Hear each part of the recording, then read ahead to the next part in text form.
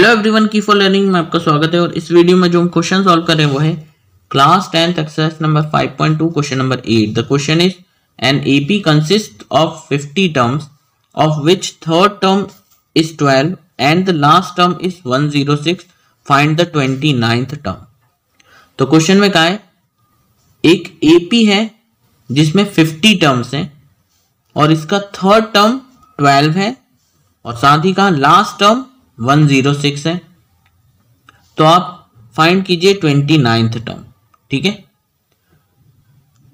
तो जो एपी है उसमें 50 टर्म्स है। मतलब ये स्टार्ट होगी a one a two so on ऐसे ए थ्री ए फोर और कहीं इसका ए ट्वेंटी नाइन टर्म्स भी आएगा। और कहा है कि इसमें 50 टर्म्स है, इसका मतलब जो लास्ट टर्म होगा वो ए फिफ्टी हो जाएगा। ठीक है? तो ये कहा कि इसका इसका जो थर्ड टर्म है, वो तो ट्वेल्व है मतलब ये जो टर्म है, ये ट्वेल्व है, ठीक है? और कहा इसका जो ट्वेंटी नाइन्थ टर्म है, वो आप फाइंड कीजिए तो ये आपको फाइंड करना है, ये नहीं पता। और कहा लास्ट टर्म जो है, वो वन ज़ीरो सिक्स है तो ये कह रहे हैं कि जब ए एपी कहाँ तक है फिफ्टी टर्म्स ही है इसके अंदर तो ये जो लास्ट टर्म है मतलब ये ए फिफ्टी होगा तो ये जो टर्म है, ये वन ज़ीरो सिक्स हो गया। ठीक है? अब देखिए, जो ए थ्री है, उसको हम क्या लिख सकते हैं? जो ए थ्री है that is a plus three है तो टू डी ठीक है? तो ए प्लस टू डी की वैल्यू आपको ट्वेल्व दे रखी है। और ए प्लस ये जो ए ट्वेंटी नाइन है, ये असल में ए प्लस ट्वेंटी नाइन है तो एक कम कर ले ट्वेंटी एट डी इसकी वैल्यू आपको फाइंड करने को कहा गया और ए फिफ्टी आपको दे रखा है लास्ट टर्म यही है तो ये ए फिफ्टी है मतलब ए प्लस फिफ्टी है तो एक कम कर लीजिए, ये हो जाएगा फोर्टी नाइन डी जो कि वन हंड्रेड सिक्स दे रखा है, ठीक है?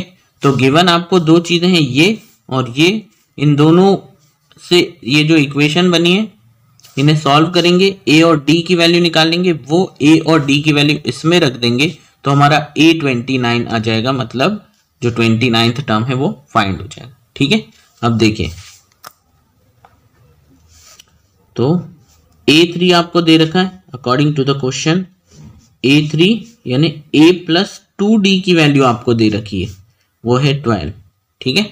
और फिफ्टी यानी ए प्लस फोर्टी नाइन की वैल्यू आपको दे रखी है। A plus forty nine d जो कितना है? वन ज़ीरो सिक्स है। तो इसको हमने फ़र्स्ट इक्वेशन इसको सेकेंड इक्वेशन मान लिया। अब इसे एलिमिनेशन मेथड से सॉल्व कर लीजिए ए और डी की वैल्यू निकालने के लिए। तो हमने क्या किया? देखिए, पहले से ये सेम है एलिमिनेशन में हमें सेम करना होता है। पहले से ही सेम है, सीधे सब्ट्रैक्ट करेंगे बस हम। तो सब्ट्रैक्ट कर दीजिए फ़र्स्ट में से सेकेंड को। फ़र्स्ट माइनस सेकेंड जैसे ही हम ऐसा करेंगे तो साइन बदल जाएगा। ये जो प्लस है, नीचे के साइन बदल जाएँगे, ये हो जाएगा माइनस ये प्लस है, ये हो जाएगा माइनस यहाँ भी प्लस है, ये हो जाएगा माइनस तो ये ए से ए एक प्लस एक माइनस हो गया तो ये तो कैंसिल यहाँ से प्लस और minus plus minus minus forty nine minus two forty seven d वो भी माइनस का, क्योंकि ये ग्रेटर है, इसके पास अब माइनस साइन है। फिर ये है plus plus minus minus one hundred six minus twelve ये हो जाता है नाइन्टी फोर वो भी माइनस का। फिर इसको आप नीचे कर दीजिए।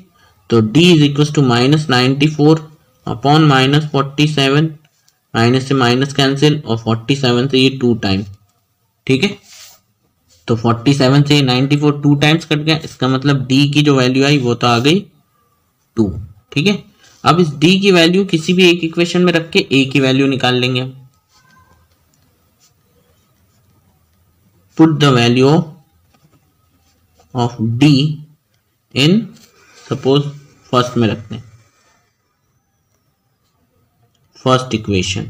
तो फ़र्स्ट इक्वेशन क्या है? A plus two d equal to twelve और डी की वैल्यू रख दें तो ये हो जाएगा a plus two into d की वैल्यू डी की वैल्यू कितनी आई? Two is equal to twelve ठीक है?